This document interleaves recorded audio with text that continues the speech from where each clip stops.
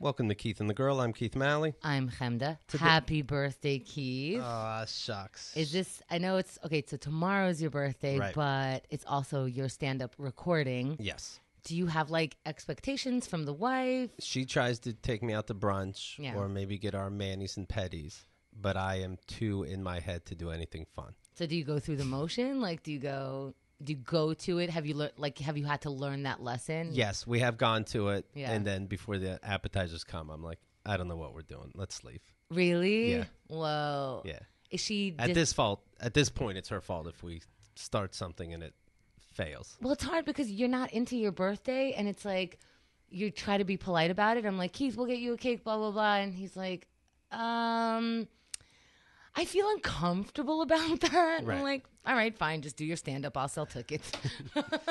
Uh, today, by the way, is the last day to get early bird pricing to get the entire Keith and the Girl marathon 24 hours and get it one week before anyone has a chance to get it. I'm talking audio, I'm talking video. Don't be a late bird. Get the early bird things now. KeithandTheGirl.com slash marathon. And uh, we're gonna close that out and close out the tickets to Keith's show Saturday at noon, April 15th at noon. And you'll still be able to get tickets at the door, and you'll be able to buy the marathon afterwards. But the early bird and the the uh, pre-sale will end tomorrow at noon. Of course. Speaking about stand up, we're talking today with one of the greats. That's right. From Last Comic Standing, Last Call with Carson Daly, NBC Celebrity Apprentice. Oh my goodness. Jessica Kirson, how are you? I'm good. How are you? Good, thank you. We met Jessica some time ago doing the show Ardent Atheist in uh, California. I don't know if you remember. No, Have you ever done that show? no. Yes, you have. We sat right next to you. They're You- very nice Where people. was it? You were very passionate about believing in God. Does that sound like you? Um. Well, I'm not like religious, but I definitely believe in God and a higher power. That's Yes. exactly what s- you said. You Yeah. said all of that. it's on wow. brand. Did you guys talk about this for a while? You were like you both are really agreeing on this whole thing. Did you have a discussion about it? that we're going to stick with the story? no, that you both we- like really knew what I said. Did you? Well, that was that was one of the major points is you know being an athe- uh, being an atheist since Mm-hmm. we're on ardent atheist and the fact that we were talking about LGBT relationships because I'm in one. I hate that fucking label. Mm-hmm. I do too. Yeah, Yeah. and so that became the source of like, does God even like you if you are married to a woman? Uh-huh. That kind of thing. So it it stuck in our in our uh, minds. Plus, Yeah. you you stick in my mind. I remember seeing you on stage several times. But what's We've funny interacted. is how passionate you were during that show, Mm-hmm. and you don't know anything about it. Where was it? It- It's L.A. and we're bad with where we are in L.A. It's always 20 minutes from the other thing that we went to. I don't know. Ho- but was it at a stand-up club? no, it was in um, an apartment studio, and No, they had I- cameras. it, it was definitely you. Uh, the host, the host is Emery Emery. Does that ring a bell? No. really? I swear to God, I'm not just saying it. I don't even know what you're talking about. When was this? It was very memorable time. Are you guys fucking with me? No, no, no. I'm joking. Was I, maybe I was in a blackout? you- no, I, that's not. Do you feel like we ever met before? Yes, but I don't know what show you're talking about. I don't know who Emmer. uh, What's his name? Is it a guy? It, it's going to be more insulting to him if I keep repeating. So, uh, Well- just. But what I didn't like about that show, and I had a lot of fun there, is that it took him at least six months to a year to put it out. And by that time, what if I found God? I'd be humiliated. Yeah, but where was it put out? On the- This is getting worse and worse. As a podcast. as a podcast on the internet. and I did it with the two of you. His co-host has ardent atheist across her chest, giant. That means nothing to you. I'm telling you, I don't know what you're talking about. I would tell you, I swear. Are you sure it wasn't some other like upset Jew? Now that I think about it, I swear to God, if this is the wrong person. I don't think it was me. this is what Jessica does. She confuses people. No, I would admit it in a second. I'm not. I had to start believing in something Yeah. because I was hopeless. That's the truth.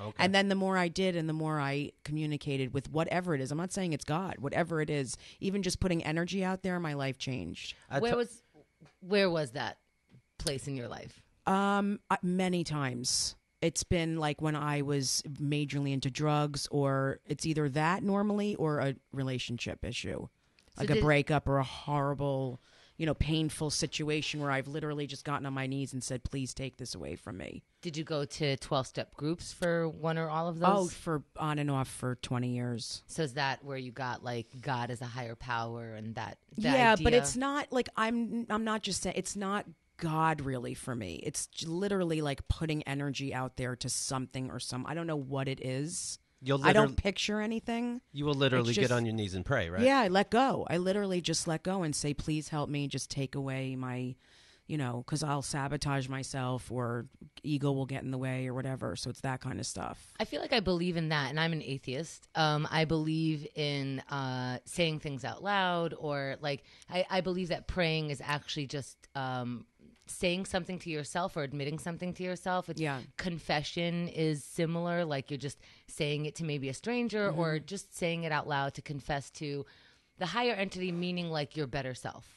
Yeah, it's very hard for me because I am I have huge issues with religion. Huge. So it's not like a religious thing for me. Um, By the way, speaking of LGBT, Mm-hmm. during before the show, you you made some kind of reference uh, to your wife. Are you legally married? Or you yes. just- yeah. Yeah. But I was married before and it wasn't legal and Right. it was a mess. And we talked about that on Ardent Atheist, I think, as well. And did you get? Are you nervous that they can take back? Like, like it seems like at, at any given moment they can take back this uh, so-called right. I do because I don't. I am nervous about it because I think people are just like, no, it's not going to happen. Like I just love how everyone that's not in the situation is so okay with it. Right. The other part of it is that I have a child, and which you guys probably don't even know, who's she's 16 months old, and um, yeah, and I'm thank you, and I'm legally her parent because we were legally married. But you know, she not to get heavy, but it's really the truth. She had open heart surgery, 10 days old, the baby, and then she had a stent put in, and she still is going to need more surgeries. We're on the Affordable Care Act. Like, there's a lot going on that I'm worried about. Is did she need open heart surgery because she was born of two mothers? Jessica Yes. Kirson. Plus, I molested her at nine days old. Um, no, she Yeah, was. They have such a big heart. Yeah, well, exactly. Right, that's right. N- yeah, well, she's, you know, she's being punished by God. Do you- her. I was reading today's uh, National Pet Day, by the way. Aw. And I'm reading an article that kids born into homes with pets, 70% of which are dogs, are more likely to have high levels of a couple gut bugs, and I'll explain that, linked to lower risks of getting allergies or obesity later in life. So it's almost bad parenting to not have a pet in your house. Right. Something oh boy, we have a pet, but he's dying. This, I don't know what's going to happen. Maybe she'll really- be like m- medium weight. There really is a lot going on. Yeah. That's a lot. Yeah. Yeah, and Keith, all of a sudden we're okay with pets and uh, kids now. If you have a cute, By we, I mean him. He just uh, he advocated before for getting rid of your dog if you're having a baby because the dog will bite the kid's head off or fuck it. Keith, when That's you- so funny because the dog protects that child. Like he is in her room constantly. He kisses her. He lays with her. It's the cutest thing. See, I would read these stories about these pit bulls eating off a baby's know. foot. Well, I'm not talking about my poodle Maltese and a child. There's a big difference. The abundance of these certain bacteria were increased twofold when there was a pet in the house. An infant's exposure to helpful gut microbes, what a disgusting name, came through two means of transmission. One way was indirect from dog to a baby while still in the mom's womb. what? The other was direct from pup to baby during the first three months of life. Do we still have time? How many weeks? Oh no, no, it's 16 okay now. Okay. Yeah. The study also showed that the immunity boosting exchange occurred whether delivery was C section or vaginal. Antibiotics were used during birth and the mom breastfed or not.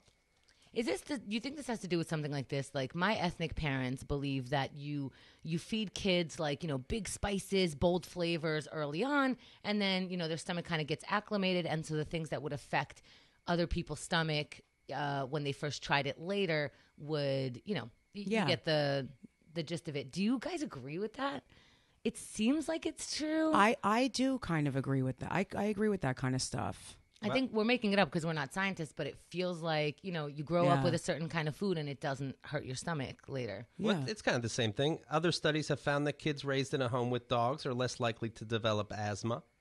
It is thought that exposure to dirt and bacteria, like the kind that can get carried in on pooches when kids are young, can produce early immunity. Mm-hmm. Just throw them in like a you know a mud puddle. Yeah. every now and again. That's Yeah, that's not a good. dog, That's but where it's- she sleeps. Right. Yeah, don't change the diaper for an hour after. Can, Right. can, can you look up if it's okay to let her sleep in a pile of shit? Because we did that last Tuesday. Well, I don't know if you remember, you are on Puppy's podcast.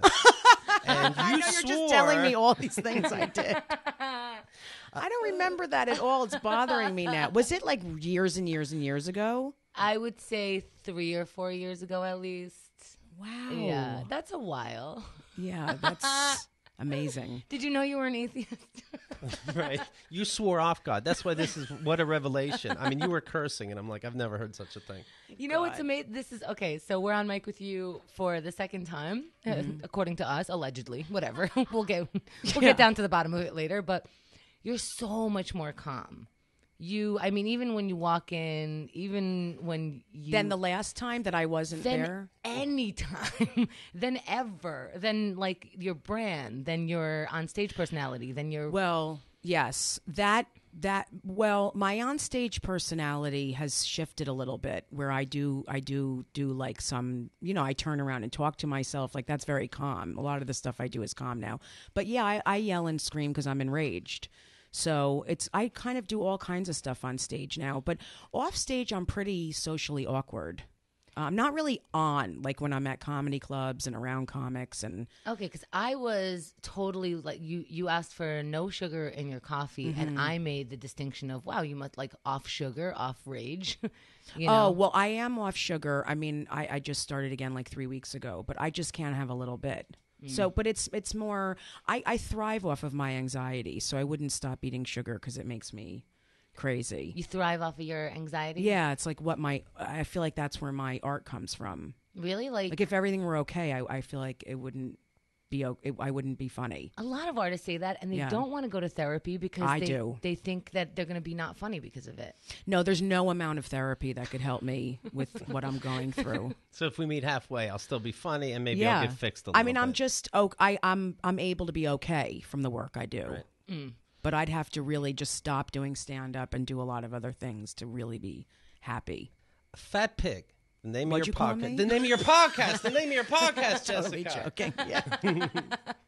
Uh, by the way, congratulations. Thank you. Uh, you do it with Frank Liotti. yep. and uh, you do a great job. And you talk about the, uh, you know, an eating disorder, and you talk Mm-hmm. about anxieties. You talk about being on stage, and even though you can hide it, you're never fully comfortable. Is that true? Yeah, which is interesting for people to hear because I can fake it really well on stage. Just from doing it for so many years, I can look like I'm okay because you have to look confident or else you're not going to sell it. You know, I feel like I'm a salesperson up there. I expected you to be bigger when you came in today. Bigger Fatter. physically? Yeah. Oh, I lost 100 pounds. Okay. Congrats. Yeah, thank you. Now, do, do you are you going to have to stop this podcast after five more? No, I'll always in my. I said it the other day on the podcast. I'm, I'll always feel. I don't know if I always. I don't want to say that, but no matter how skinny I ever was, I still felt fat. Okay. Yeah, so it doesn't. It's it's not as much about size for me as it is like the way I think of myself. All right. But it's the fat pig thing is more about like indulgence in everything. Because Like if I'm not eating a lot, I'll want to like act out sexually or gamble or like it's always something. That's really what it is for me. The the idea of the podcast. Okay. Uh, let me mention this, and then uh, we're going to delve more into your life. Vistaprint business cards. It's a deal, and it can't wait. Get 500 business cards for $9.99. Okay? We use them. We love them. Customize the text, colors, backsides, and more. They have thousands of industry-specific templates. Let me tell you what I was thinking about Vistaprint cards this morning. I swear to God, I was riding my bike to work and I thought, what if I printed 500 cards that say for for 9.99 that say hashtag kill all men, right? The the hashtag that Marcia Belsky is mm-hmm. promoting and I love and it's like church to me. And and then I thought giving it to, you know, whether it's a guest on the show during these Vistaprint moments or whatever, the shock, you know, the like the possible suing, the, you know, threat, the things like that. And then I thought, wow, a card that size can bring that much to somebody. Imagine if your business name was on it. Upload your logo to one of Vistaprint's designs, or you can upload your own design. Hashtag kill all men. And I guess you might get sued. I'm not sure the point. For an even higher quality card, you can upgrade to a thicker stock or add a brilliant finish like metallic, spot gloss, raised print. Vistaprint is easy, Blood red. and very user friendly. Visit Vistaprint.com. 500 business cards starting at just $9.99. Use code KATG at checkout. That's code KATG at checkout. That's up to a 50% savings over regular site pricing. The quality is great. They're easy to customize, and you can't beat the price to try 500 business cards for $9.99. This is a chance to get that professional look on any budget, so don't wait. Go to Vistaprint.com and order today. All right? All right.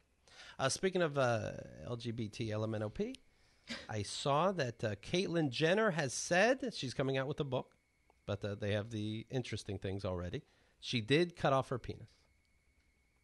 How do we feel, Jessica? That's quite a night. I One slice done.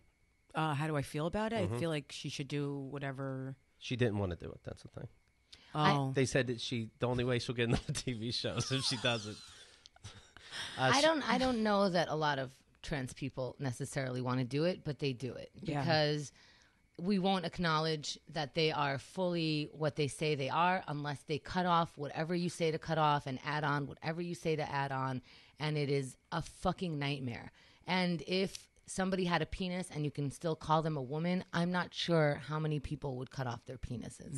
And I I'd, and I do, you know, again for the trans community, I know that some people don't want a penis and do want to cut it off. But I I think a lot of people, and I've been going to the meetings. Uh, I think a lot of people do not want to cut off their parts and alter them like that. And I think it's just this social norm that makes them less likely to kill themselves when they do do it.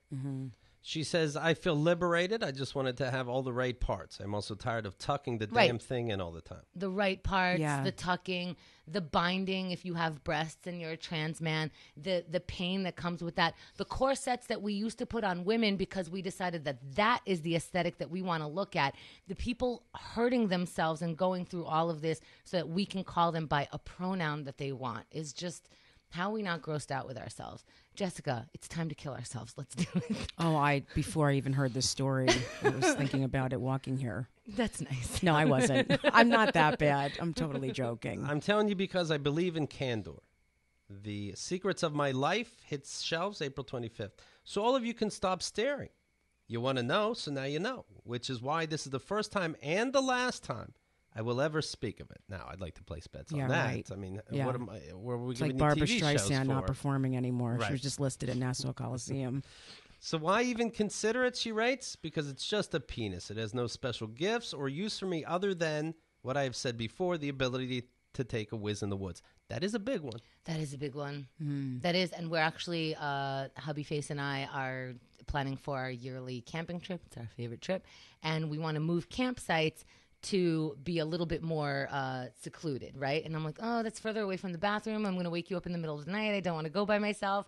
And he goes, I can get you one of those things where you can stand up and pee. And I'm just like, uh, I gotta like practice that. I'm gonna pee all over myself. I I've tried doing it standing up, but Yeah.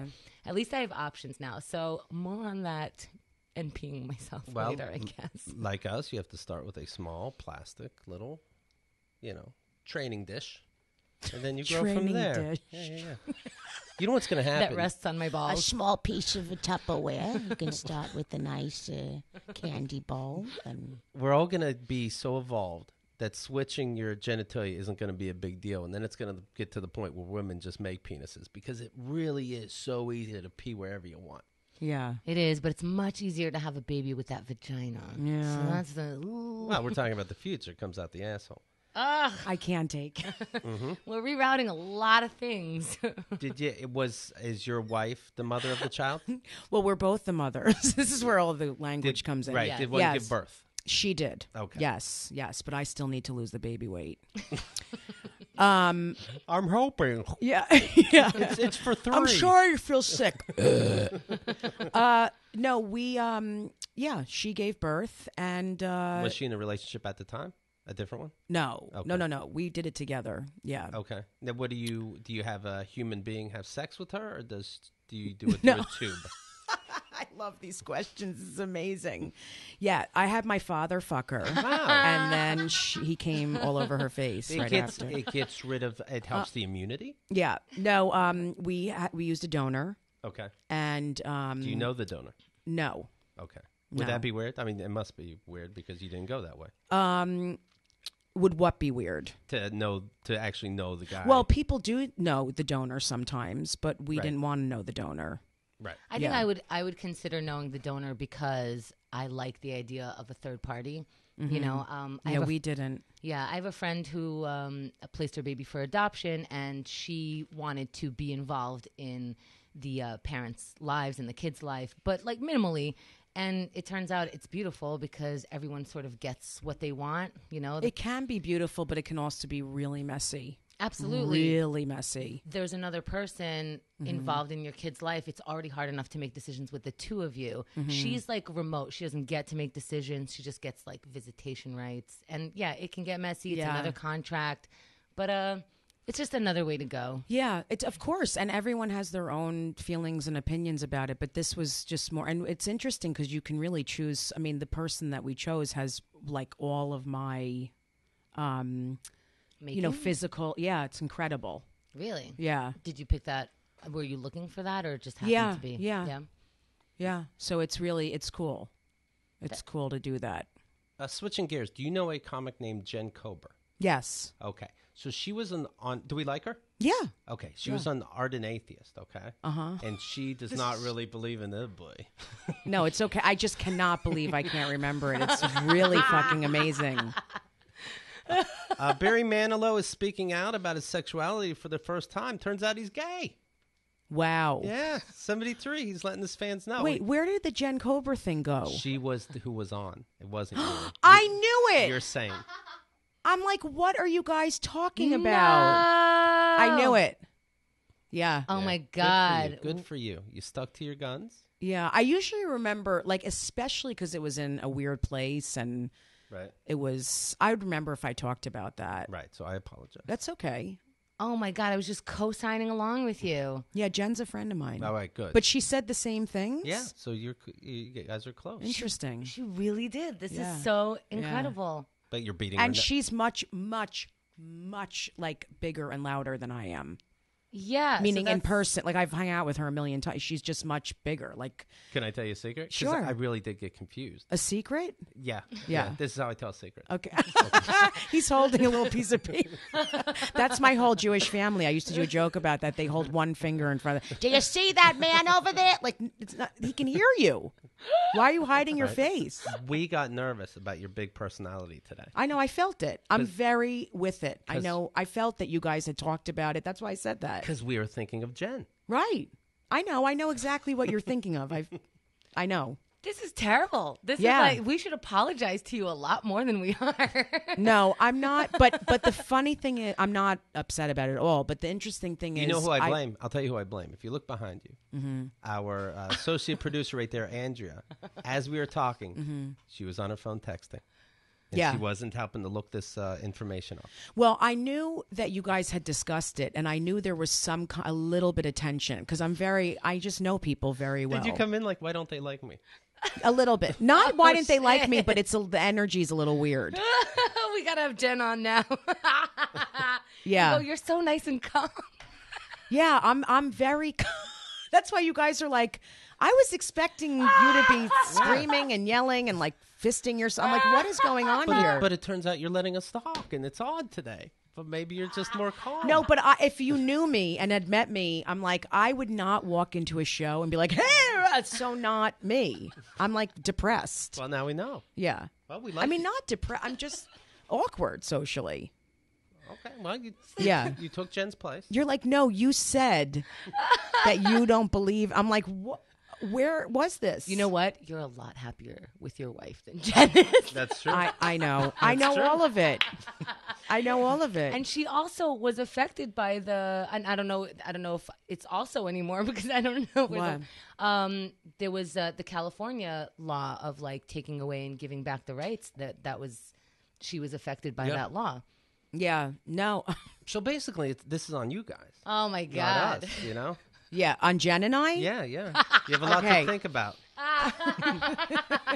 Andrea just gave him the finger. It was for you. interesting to to know that you had met me and been around me and thought I was so like on because Yes. that's not how I am at all. Okay, this is more pleasing. And on stage, I'm much less on than she is. I, Oh. She's brilliant. She's great. But I'm just saying, I'm like, I also get Okay. very. I, I do want to be clear when I if I see one of you on TV, I know who's who. Well, Jen is much butchier. right. She has a crew cut, like a. Oh, it's, it's yeah. disgusting. no, this is good. This is all good news. No, I'm, I'm on. Uh, I'm on team. Whatever your name is.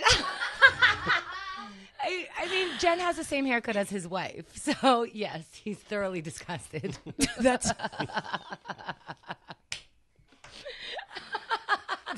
he mistakes Jen for his wife a lot too.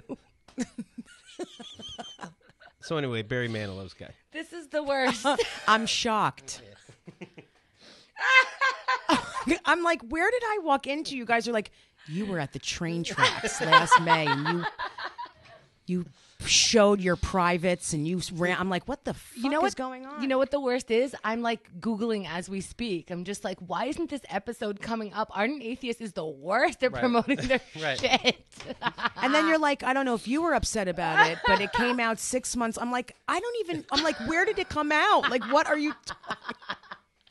it's you guys believe in a lot of the same shit when it comes to God. Oh, it wasn't you. It was Keith Lowell Jensen. Okay.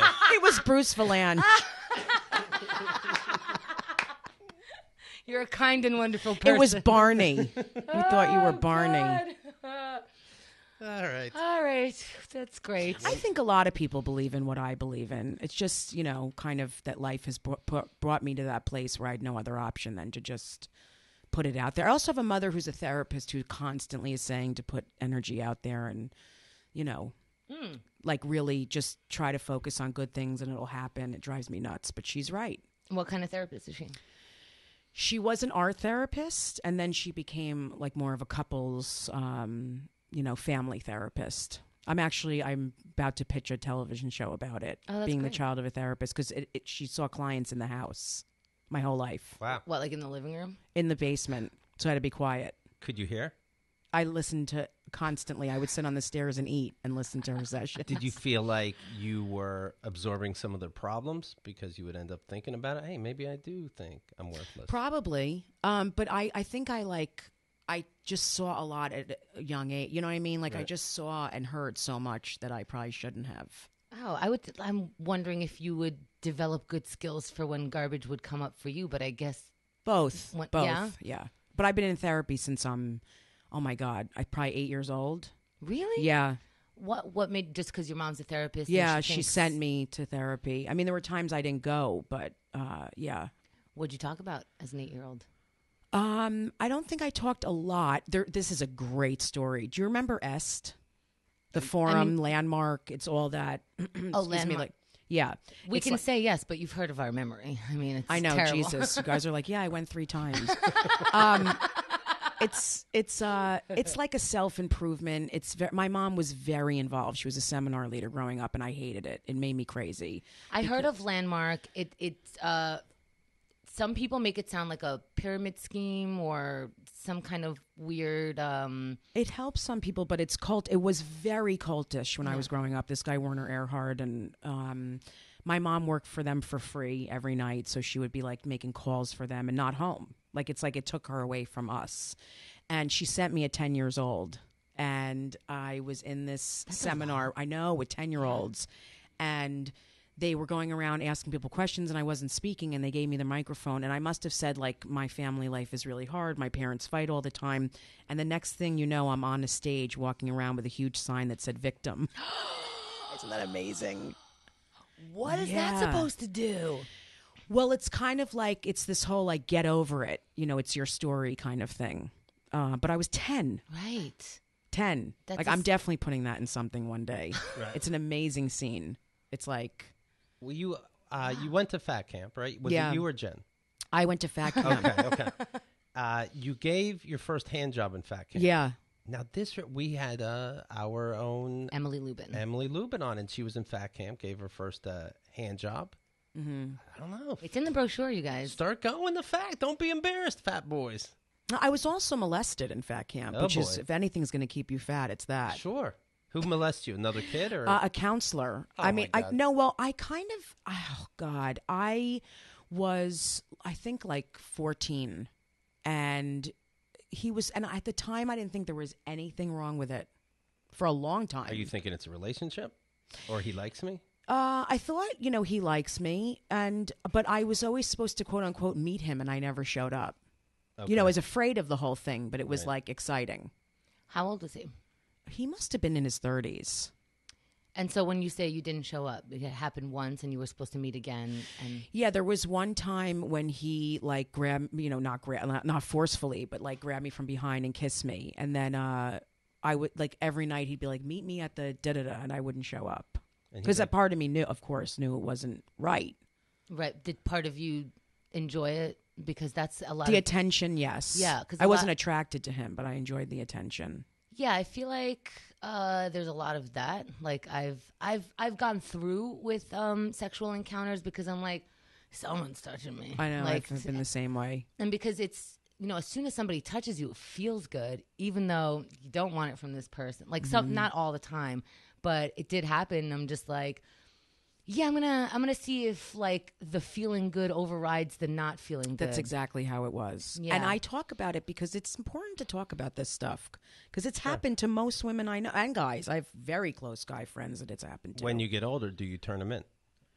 Do you let the camp know? Sounds like no. No. No. I, I don't even know his last name. I remember his first name, but I don't even. I mean, I've had other experiences with men where, you know, stuff has happened and. Um, I had a horrible experience in college, and then I saw my cousin and all of his fraternity brothers beat the shit out of the guy Okay. at a party. So that was that made me.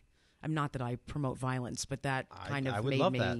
Yeah, it was like I kind of got over it at that point really in I certain ways. I envisioned that, and I always think like I'm not sure that that would. um I would hope I'd like it would be obvious to me and everybody else that that would somehow make me feel better, but I always question whether it would or wouldn't. Well, I think it definitely screwed me up in a lot of ways with intimacy and sexuality and stuff like that. But it was very, uh, like, w- I uh, enjoyed watching him get his ass kicked. And it's, you know, it's like the Jewish community at University of Maryland, so everyone knew each other. So it wasn't just that; it was like, you know, his name got out there.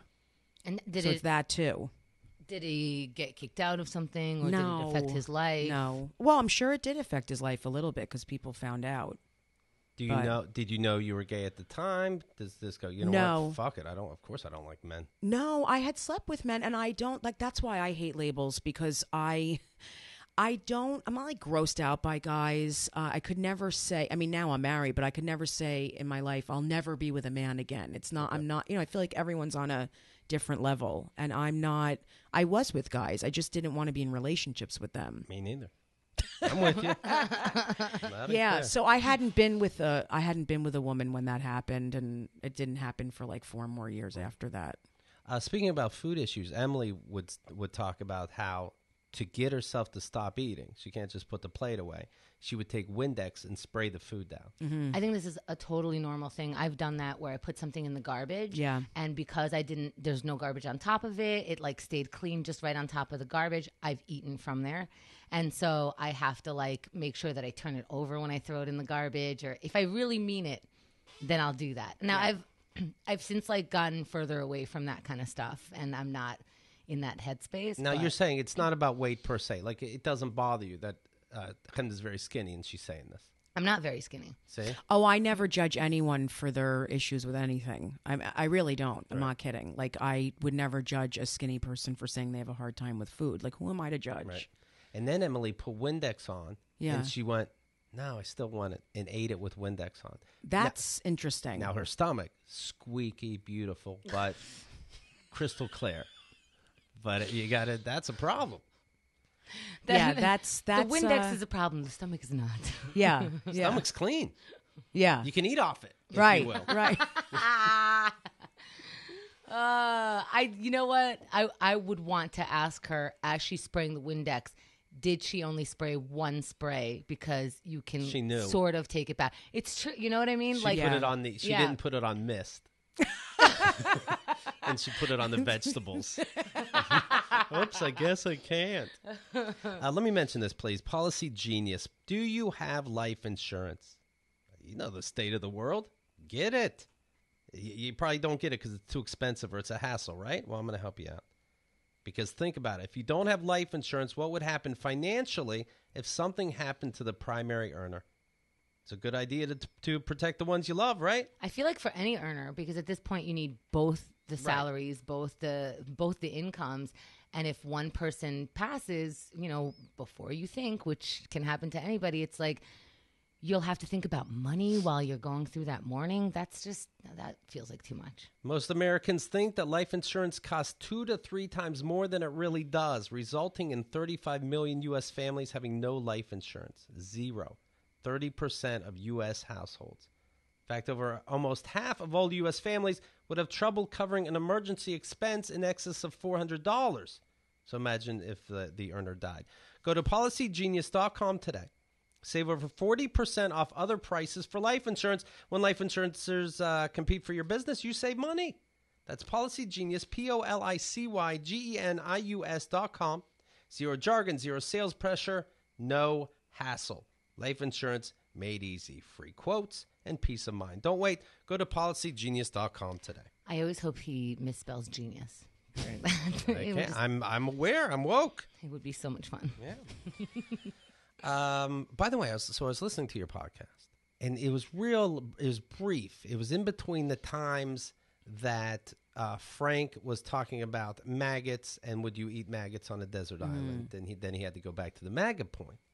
And uh, for a second, you were you uh, Bill O'Reilly came up, and you mentioned that you knew one of the people that got paid off. Mm-hmm. Is this is this uh, from like a decade or two ago, or is this one of the recent ones? No, I think it's from a while ago. Yeah, man. Because I worked for Fox. I did a warm up for like a year and a half okay. um, for the morning show. Did you know the vibe like between Roger Ailes and obviously now Bill O'Reilly coming back? yeah, was I mean, there a vibe this of was sickness. this was like, oh boy, this must have been eight years ago. No, more than that, like nine Right. years ago, and I still felt, you know, there were still things going on and things going around and people talking at that point. Yeah. Isn't it interesting that you can say about a human being now, are these the assaults from 10 years ago or the I more recent ones we're Right. hearing yeah, I know. It's uh, unbelievable. Yeah, now you don't have to say, of course, but uh, I'm looking at this one from 2004, Andrea Mackris, and there was a big, uh, you know, uh, the, the the whole the court filings had all this detailed information about Bill and Bill O'Reilly. w- I mean, he was dead to rights. He would leave messages on this woman's answering machine. What what did the messages say? He would say, uh, Good job today. That's all. Can you imagine? Carry on. yeah. like, wow, we never read the whole. yeah. I never even realized you're a woman. Send- Thank you for that briefing. oh, wait, no, this isn't offensive. Uh, you would love my penis. A quote, little short brown woman asked to see my penis. I showed her and she was amazed. You would just love it. He would say penis. Yeah. He's such a fucking asshole. He would just say penis instead of Something cock fun. or anything. Yeah. Yeah. Um, during the course of a conversation, This is why people cut off their penises. Yeah. Because people Because just go, of Bill O'Reilly. I want to put my penis in your warm, moist vagina. Oh, yes, Just shit like that would make me cut off my penis. yeah. he kept saying, uh, you know what, go out with me, blah, blah, blah. And she's saying no. And he says, listen, if you, cro- Have you seen my penis? you are crossing Fox News Channel. If you cross Fox News Channel, it's not just me. It's Roger Ailes who will go after you. Wow. I'm the street guy out front making loud noise about the issues, but Ailes operates behind the scenes, strategies, and makes things happen so that one day, bam, the person gets what's coming to them but never sees it coming. Look at Al Franken. One day he's going to get a knock at the door and his life will be over as he knows it. This day will happen, trust me. Isn't when it- was that? Uh, this is back in 2004. Look at this, how I forget things like this. Isn't So that he's not terrible? getting fired. So obviously he has not been fired. In fact, and I'll, I'll talk about these how he paid thirteen million dollars to five women uh, very recently, uh, and he also just got a raise for eighteen million dollars a year. When? Uh, v- very recently. for for for saying the garbage that he says. He's terrible. Hey, but his but his pe- the his viewers don't give a shit. That's the problem. Yeah, now they don't care at all that he did that. And if the story out is fake news now, you know what I mean? Quote yeah, fake news. Right, exactly. Then okay, and this is more bullshit. Well, really, it doesn't bother you? He just paid No, they don't care. more care. millions again. Because I'll tell you what, no matter who cares or doesn't care or what side of anything you're on, picture you.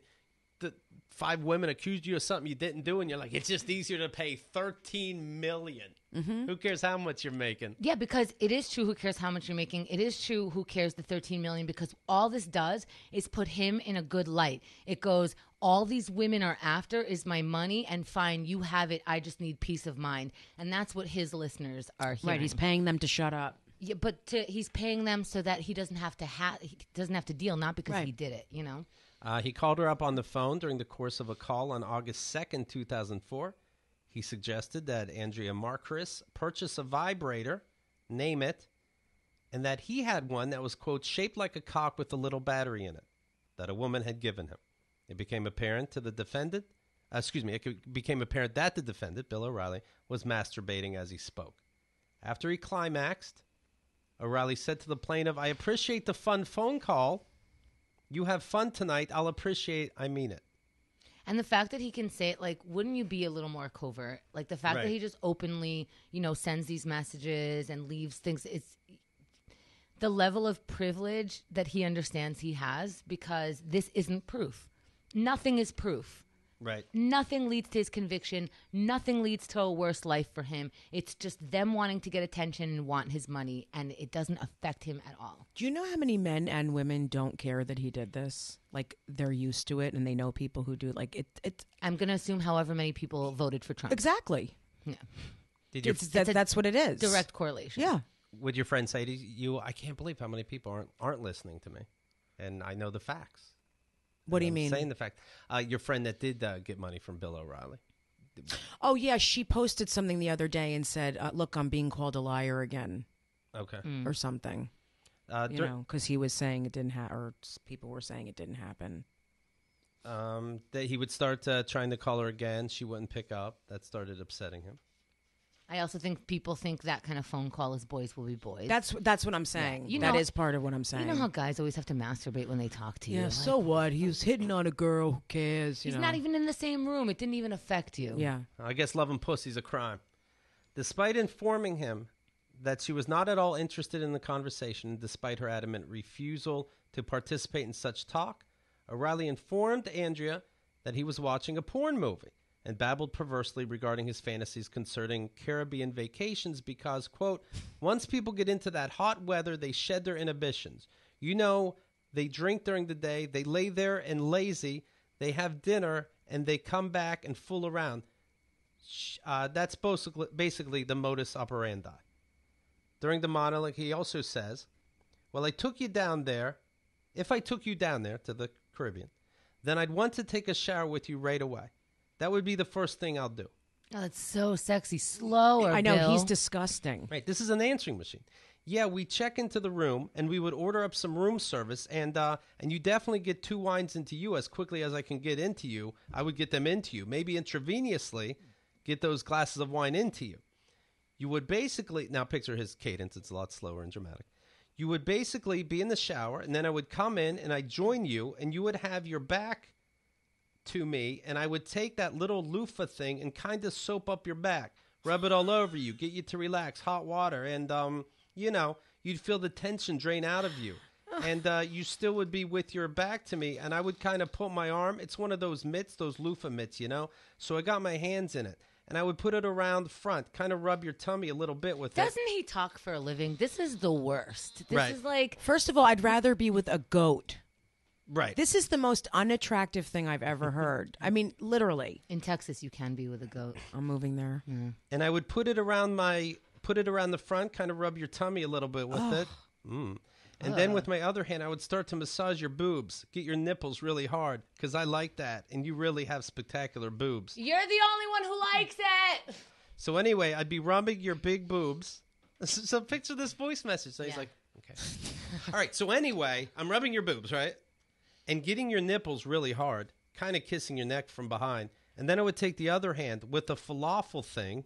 Falafel? I assume he means the uh, loofah sponge with the falafel thing, and I'd put it on your pussy, but you'd have to do it really light, just kind of a tease business.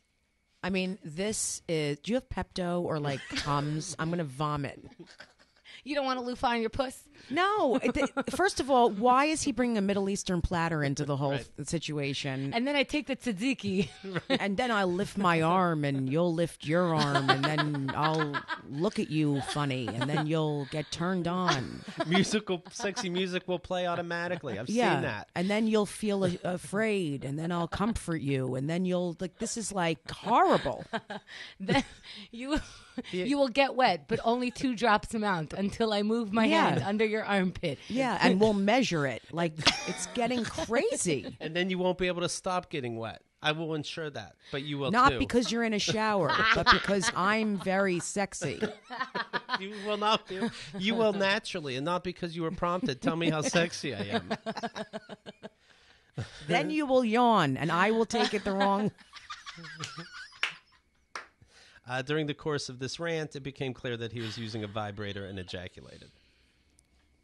Oh Lord. So now, in present day, uh, he still does this. He, he's making phone calls and he's masturbating to women that work for him. when was the last time he did that? I'm just curious because I don't know. I, I know. Let's see. In uh, the end of 2016, Wow. 1.6 million. Uh, this is 1 million. I don't see the date. End of 2016, 1 million. 9 million. Here's what's amazing. He had to pay over thirteen million. Oh, sorry. The, the woman I was just. T- so the total is five. It's four very recently, and this woman that I'm reading got 9 million. Which don't you think if it's five, it's ten at least? You know. Sure. Yes. Okay. So first of all, I I just ugh, thirteen million dollars you gave away. Now let's say you have thirteen million dollars in your sex budget. I promise you I'd be able to fuck these women. This it's such a misuse. Like you you really. Yeah. It's, you can you can hire this kind of thing, but you obviously want to Control. you want to fuck with somebody's mm-hmm. life. It's not even about like it's it's about let me put my dick on you when you don't want it. Mm-hmm. Because he can with a lot of money you can get the puss that you want. And I'm not saying like just women could be bought, but you can buy Yeah. hookers, you can buy this experience, you can and it could be a nice lovely exchange where everyone gets the thing that they come into for. The But hookers no. will come already wind up if you want them to. Right.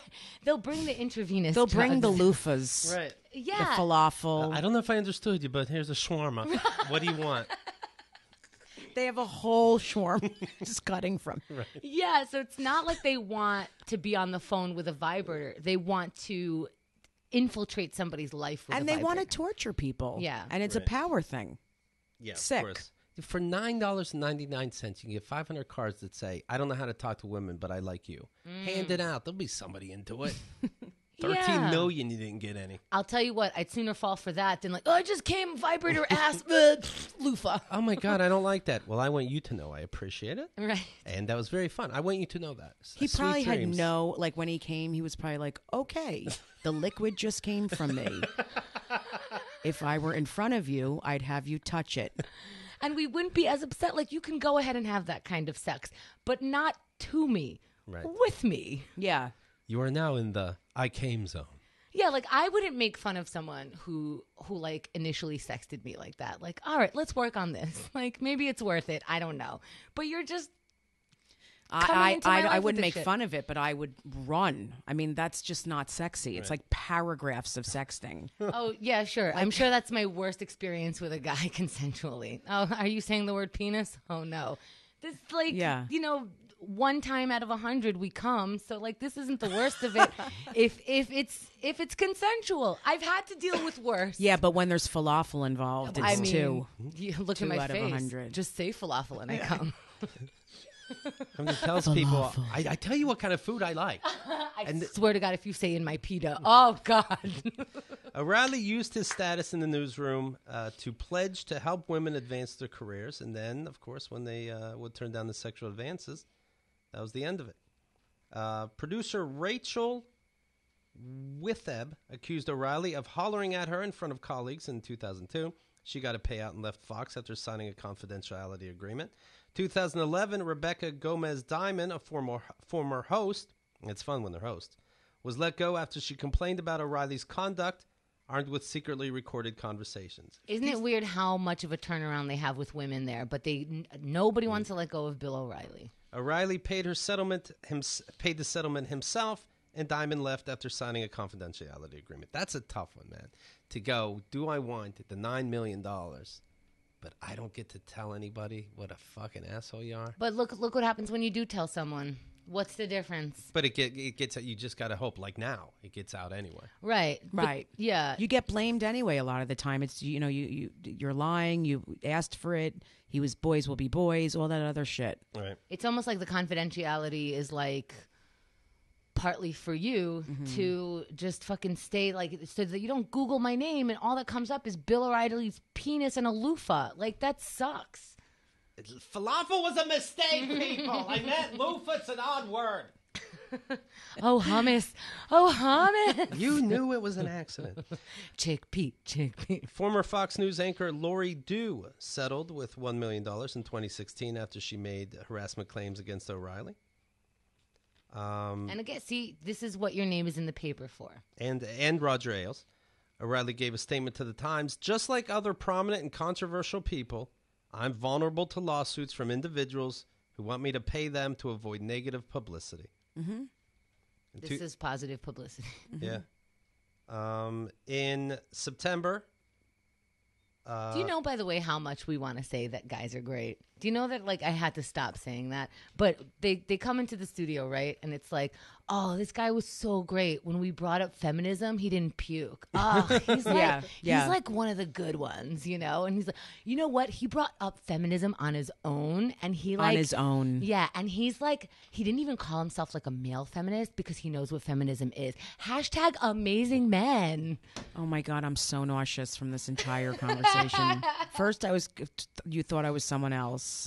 Now all I can think about is falafel and Bill O'Reilly's penis. And the latest allegations about Roger Ailes, the CEO, of course, uh, he uh, he stepped down. Uh, was only given forty million dollars to step down because there are all these uh, all these uh, allegations on him as well. This this creep.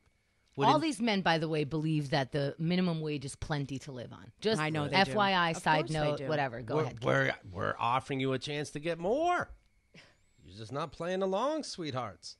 So he would have these women. You come and work for Fox News. You had to go to to uh, Roger Ailes' office, and he'd be sitting in his office chair, and you had to kiss him hello. Stop it. I'm not. None of this surprises me. Right. None of it. I. d- uh, That's the part. I guess I just know so many perverted men that it just doesn't surprise me. I want it to surprise me. Yeah. Hit me in the face. Okay. Something needs to surprise me right Can you now. imagine if I really did? Yes. I would deserve it, Jen. That's amazing. Uh, Ailes would say, "Hey, I'm going to promote you now. Let's fuck." The women would refuse, and then he'd be like, "Okay, now you get no show." And he's disgust. Can we just Yeah. discuss how disgusting he is? He happens to be very disgusting.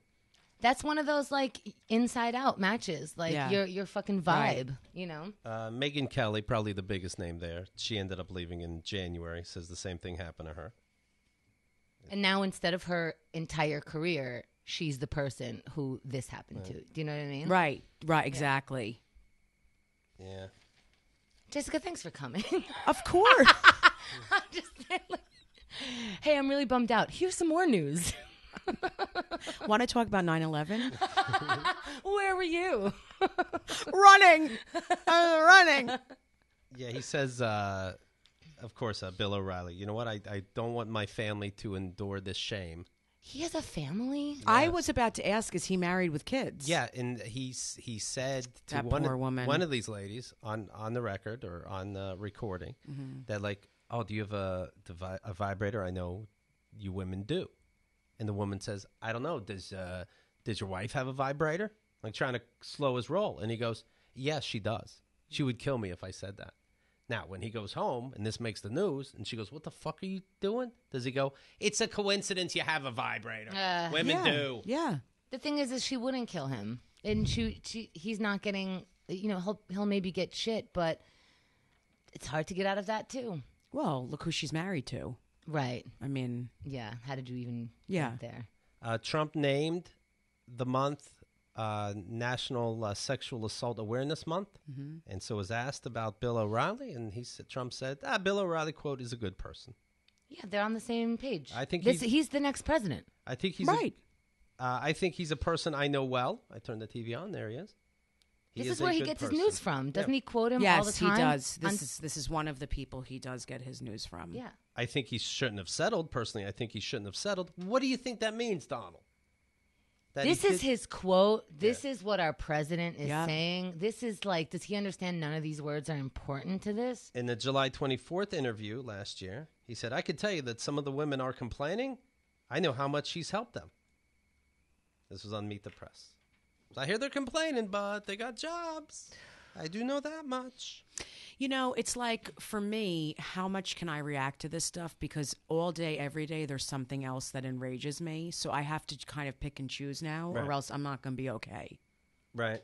Like all this news with Trump and everything. Yeah, I remember- can't handle it. Like, and I understand Fox News is getting, at least Bill O'Reilly's show, is getting more viewers. And I do understand that. In 2004, when the news came out, I'm like, I do have to hear what he says. And he's like, and this is over and settled. And the last time I talk about that. And I'm just thinking, oh, you can do that? Now, it's also the last I watch your show, but you could just say that's the end of that. Right. And, and I that's the robbed you. I admitted it. And I think we're all done yeah, having this I killed your child, Right. but I'm just, you know, But didn't admit. I said Let's be clear. Yeah, it's like uh, you know what? Uh, it's paid off. I'm being used. That's it. That's it. It's it even offends me that I'm being asked. I'll tell you what. If I'm accused of this, oh, you wouldn't be able to shut me up. yeah. We're having a conversation. Believe me, daily.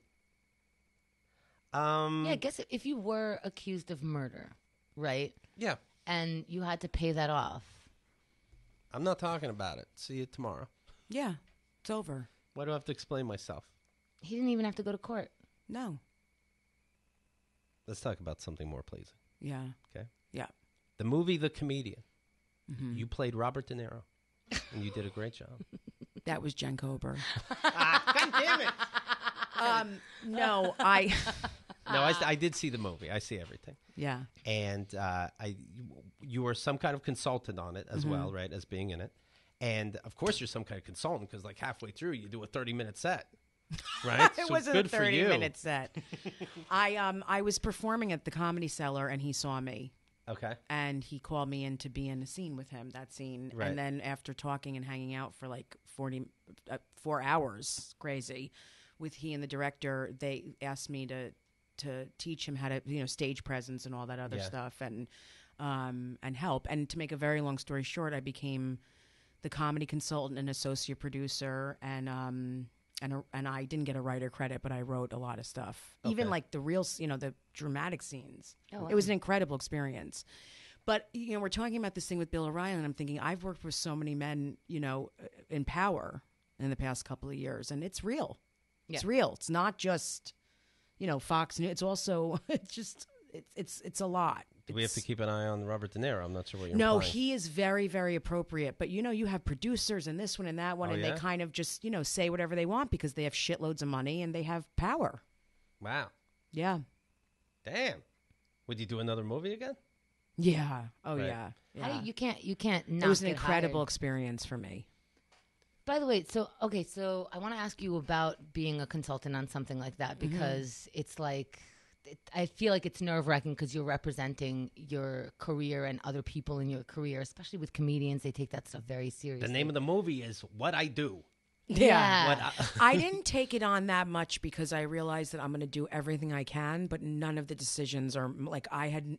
excuse me, I had a say, but there were 20 other people who made the decision. So I just did everything I could to to Right. help him represent a comedian and every you know. Then it was out of my hands. Did you did you feel like no matter what you're going to get shit from some comics about it? Like, oh, that's not what a comedian is. Oh, I don't care because come- it's not. The, anyone who knows the business knows it wasn't up to me what he did in the movie. It's up to the director. He So you- makes every decision about every line. There were things that 50 people would say we shouldn't do, and he made the decision to do them, the director. was it ever frustrating? Like I picture. Very frustrating. That's what I picture. Very. I would like scream, please listen to me, please. Mm. But it was, you know, just because you're a consultant, there were a lot of other consultants and people putting their two cents in. I, I did what I could. Now, why why have so many consultants and everyone is shaking their head on that one topic that you're thinking about maybe, and why would they go for this other thing? because they know because there it's, it was a lot of men and they all knew the business and were fans of comedy and i'm like but i'm the one who experiences it De Niro was incredibly open. Would always say, "I want Jessica in the room. What's Jessica think?" Da da da. da. But you know, I I maybe got half the things in that I needed. You know, I just did what I could. Was there Like there's a heckler scene, as you saw, Right. where there's this huge guy in the back of the room and he's yelling out at De Niro on stage. I'm like, he would never leave the stage. He's t- 70 something years old. You know what I'm saying? With this huge guy and like punch it. Like it just would never happen. The guy's Have putting him his sit up act on. YouTube, right? Right, Yeah. right. And I'm like, just have him sit up front or throw something at him. Like it, this is not realistic. But they did what they wanted to do. I, I, Okay, was- I could I could see why that would be because I know that when you write something, He you- called in Sonny Corleone to go to the back of the room, and I'm like, "What is happening in this movie?" Yeah. Well, any comic that listen, if people if people say Jessica did this or it's because of Jessica, they don't know me. Because anyone that knows me knows that you know if they even know me a little bit, they know that there's things I wouldn't have done, like agreed to or done or said to do. I mean, was there another moment that you thought this is definitely not how stand up goes? a hundred times. really? Yeah, yeah. One not you- just stand up but there were there were a lot of things that i would say like even with his interactions with leslie mann like i You said- I was just gonna say, do you go? Leslie Mann wouldn't date you. Yeah like there were times i said he has to do this or this has to happen for this to be realistic so i was consulting on the entire movie i mean the stand up was the least of it Wow. Yeah. What, what wouldn't he have done with Leslie? um well they had one intimate scene in the apartment and i was like right there and really telling them how she should approach him Really? How? Like what? How do you even know? Like what? Where is that I just coming kind from? of know these. Th- I don't know. Um, like just human interactions. You know, like basically for her, him to get her to be want him, he had to be funny. You know, I, I, I like when she got down on her knees and like you know touched his legs. Like there were things I just, you know, I was in a room with just the two of them, explaining to them what I thought they should do. It was really interesting for me. I learned a ton, You were and like- I didn't want to go a lot of the time because he he hired me. The Robert- director oh. didn't. Mm. De Niro hired me and paid me, and Oh. so I was kind of the one who was like, "Get her out of." Not, I mean, they were nice to me, but you know, I would always jump in because I'm a truth teller. I can't just stand there and be quiet. I was going to say it didn't become intimidating to speak. Yes, it was very hard to, to show up for months, and and like, you know, my wife would say, "You got to do it. Just do it. He wants you there." But I, it was intimidating because I would see something and run up to Bob and say, "This is not." What should be happening, or can he say this, or you should have the audience member do this or do that, or Did he back you up a lot? yes, as much as he could. But then at some Look point, at you though. Yeah, That's Run up- amazing. it was good for me. Run up to Bob. Well, everyone calls him Bob. It's not like I'm being like Bobby. like no one calls him Robert. But were, um were you intimidated when you first met him? um no, he's really sweet. He I mean he's shy, you know, he's a little shy, but he's the nicest guy. He really is. I get nervous that sometimes he really thinks he's in the mob. He has it together. yeah, he Okay. does. All right. Yeah. Yeah, he he really is a good person. All right. Good. But you know, the director has final say. So there'd be Right. times where he'd say stuff, and times he'd be like, you know, got to pick our battles because I would constantly see things, and I'm like, this is not. Duke, did comedians give uh, give you critiques as though it were your movie because you're approachable? You mean after they saw the movie? Yes. No, Okay. I think most like, anyone really who is friends with me or knew me was like, I'm sure that drove you crazy. I'm sure that Right. because they just know what I would. Would you ever fuck with them and be like, "What do you mean? I loved it. Fuck the critics." Well, there were parts of it I did love. Um, but you know, when you do a movie, there, that's what I'm saying. I learned so much. Like I didn't, I did not, I did not know that the director has that much power. I know that sounds w- stupid, Right. but I really had no idea that they have final say. You thought A lot the, of the time, not always, but You thought the writer would have final say. the writers, the actors, the producers, you know. But Mm. when it came down to it, it was all his decision. Now you said before the show you did go to the premiere, Yeah, yeah. But I saw it a bunch of times before that because we redid a couple scenes. and so was it exciting to go to the premiere anyway? Or Yeah, because you know a lot of stars went, and it was that's when it was like, oh, I'm a part of this. It's cool, you know. But I'm really humble. I wasn't like, oh, now because you know it, it's great and it's a big deal, but now it's back to the grind. It's not like, But the one thing that's great out of is I developed a relationship with the producers, and now they're working on me with with me on a television show. That's awesome. So that was like the best part of the whole thing. There you go. Yeah, Did you lose your shit at any point? yeah. On what? There was a time when I was because I was in his ear. So he had an ear Oh, thing for part of it, and? That you I, I can was the just- one talking to him, like with improv and different things, and Can you start that dialogue? yeah, so you could just interrupt his. You can just go in his ear. oh, the whole time, yeah, for hours, hours, and hours and hours, yeah. That's bananas. I don't. I don't mean just for you know him. For like just to do that to people. Yeah, Just- yeah. And there was a time when I was doing very it, everyone Star was Trek. really tired. Yeah, and it, I was like over it with a lot of things, and I had these producers sitting there, and one of them kept saying, "What are you saying to him? What are you doing?" This, you know, and like yelling, and I was like, "Okay, I'm out of here." And then Robert De Niro says to the crowd, "Okay, I'm out of here." No, like, oh no, Bobby. I went up to him and said, "I can't sit here anymore. If you want me to be able to be creative, you ha- I have to move this entire station." To the back. I can't be around any of these people. That's got to be nerve I can't wracking think to say. fast. No, it really brought out a whole new side of me where I'm I I was I learned to say what I need and speak my mind and it was interesting to be the only woman. It was fascinating. And when you have the Godfather on your side, right. Yeah. I mean, of course I had him on my side. I Right. wouldn't have I don't think I would be able to do that if I didn't Did did it work? Did, were you able to move yeah, your station? Yeah, I moved away from that guy. and were you able to work better? Yes, because I didn't have someone yelling in my ear, you know, negative, you know, judging everything and Wow. hmm Did they ever lose their shit on Bobby? no. No one ever lost their shit on him. they think he's in the mom. I still am not convinced, honestly. Uh, by the way, speaking of, you know, the the tone of the movie, and I've seen you on stage, obviously, caustic. Uh, Don Rickles was that a was that a big sadness to you? Did you ever get into that kind of It's humor? interesting you said that because so many people have said to me when I get off stage, you remind me of Don Rickles in a way, and I, it's just because of my faces. It's not because I, you know, did Or a lot of stuff. insult did. per se. Right? No, but um, was I sad? No, Okay. that's an honest answer. Yeah, I- I, I- wasn't sad. I was like, oh wow, you know, but Right. How you doing, you fucking Jew? Yeah. It's like, oh, what a passing. I don't get sad really about most deaths unless it's like shocking or sudden or. 90, it wasn't shocking. No, I'm not saying it's not upsetting for people who knew him, but I didn't. Sure. I never met him, so there wasn't like a attachment at all. Speaking of movies, I saw the movie Going in Style. Did you see this?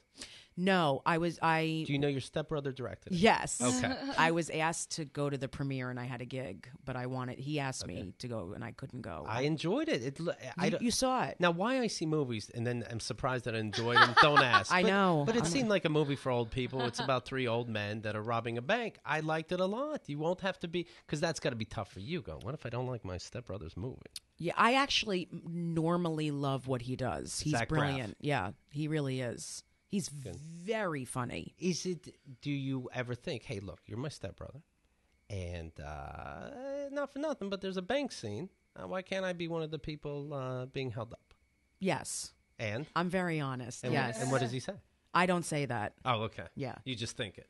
Uh, yes. Okay. Is it offensive? Like, why not? There's 70 people are laying on the ground in this bank. I Well, don't- I think Plus, he you knows. asked me to go to the premiere. yeah, he doesn't want me. He, I think he knows I don't want to be an extra. I would not want to be an extra. Okay. So if I had a line or a couple line, that's different. Right. But he knows that I wouldn't want to be an extra in a movie. okay. I wouldn't. So, um, but yeah, it's a hard. It's a, it's an interesting situation because he does love my comedy and Right. always wants to come see me. Okay. But I think it's just he keeps it. You know. Right. You know what's funny? I come from Was a it family. from, sorry, was it from a marriage or you were adopted? No, so my mom married his father 35 years ago. So we grew up together. Okay. Um, I have four step siblings. Uh, but, you know, I don't, they ask him for so much.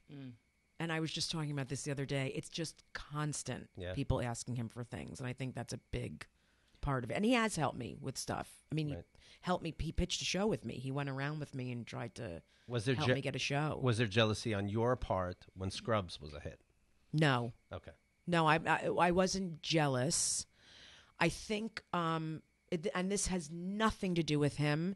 It's hard for me because I bust my ass for you know I'm in my 19th year, Right. and sometimes I'm just like, oh my god, why? You know, like I get a little victim. You know, like Sure. why is this so hard for me? How come I can't get a lucky break? Like I get envious, but not like I don't. I don't get um, mad at him for that. Do you think people call you in for projects, No, but they're calling in Jen? I thought you were gonna say because he's my stepbrother. No. What do you think? You're 19 years in, Mm-hmm. and I feel like this is, you know, a feeling that you can have all the time. Where am I going? What am I doing? Why is it always a hustle? I feel like a you lot know, lately. Yeah, I feel like I can fall into. we- We've been doing this for 12 years, Mm-hmm. this podcast now, and every once in a while, I'm like, "Am I doing this right?" I know. Because I keep thinking about it and wanting to change everything, and then I go, "You know what? I am doing it right because this is what I'm doing," and like, you know, you just kind of walk Yeah. yourself through it. At 19 years, can you say that you're satisfied with your career? Yeah, I mean, I, I can't. I, I have to be grateful. I've done a sh- ton of television. I make money. I work. Is there You know, something that you're not getting that would ease your mind about what you do for a living? Uh, I- I'm I'm frustrated with social media presence. Even though it's there, I feel like, my God, what do I need to do? Like, Right. I'm constantly. And then there's a new stuff. one. Right, and then it's just like one click, two click. Like it, that's the kind of thing I just can't. I can't deal with, and you know, filling rooms when you're on the road. That's Mm. really frustrating and hard because the more you fill, the more money you make. Um, I get frustrated as a woman. The only time it's hard for me where I compare myself to men, like male comics, is as a headliner. Because if I feel like if any male comic had my credits, they would be headlining at like every improv in the country. And are you not? no, You're not considered No. a headliner. I am at a lot of places, but not like Not at improvs. No. What do you mean at improvs? Well, there's in, the improv chain. You know, like I, there's certain clubs I'm, I always headline, but then there's a lot that I just can't get into, which I feel like I would Now if I, I feel, were a man. I feel weird now because I started this show saying you're a big deal. I'm. Sh- I am. I do by have that. a lot of followers, but because of m- me, it's all it's all been like you guys. I mean, it's all my work that I'm putting in. You're Right. like eighty thousand people on Facebook or forty thousand on Twitter, but that's from constant. It just gets tiring. Do you remember I cut you off? You were saying something about your family. Then I asked how you guys were a step related. Do you remember that? Yeah. Wh- What were you going to say? Well, just that you know, everyone, not just family, but family, friends, friends of friends, always wants something. I see. Right. Yeah. What could they? Which gets annoying. What, what could you want as an outsider not trying to Oh to? God, I know. You know, Jewish. I, I know my. Oh, I cut my family friends. off. You yeah, could be my as Jewish as you want daughter, in your house. right. My friend's daughter lives in L.A. Needs a job. I mean, it's just constant. It's constant asking for Oh. stuff. I see. Needs a Where, job. sort of. where it's like the people who really are in the business and talented and need something get overlooked sometimes because he, he's being harassed. You know, not him, but all. I see it constantly with people that I know that are famous or doing really well. They get bombarded. I don't think I, I get, but like, yeah, I did cut off my family, so I don't know. Right. Who knows? uh, here, let's leave on a fun uh, news story. Ready? oh God. All right. In Utah, a school district has settled a lawsuit with a student after she put on drunk goggles. You know, those uh, glasses that make you. They try to tell you that's what it'll be like if you're drunk. Well, the girl put them on. She was 13, and she uh, couldn't see right, and she broke her ankle. And now you know she's telling all her friends, like, "You'll break your ankle. Don't drink. Yeah. sipping's not worth it." I feel like that could be a long con, and you just like hire a twelve-year-old. She goes to school Right. in the same class Breaks for like a month, and she yeah she commits to breaking her ankle, and then like how because how scary is alcohol to that class? Right. You know what I mean? Yeah. Like at least for a little while, you bought yourself some time. I don't drink and I don't wear glasses. Yes. I don't. How? Wow. How do you break your ankle in a classroom because you're drunk?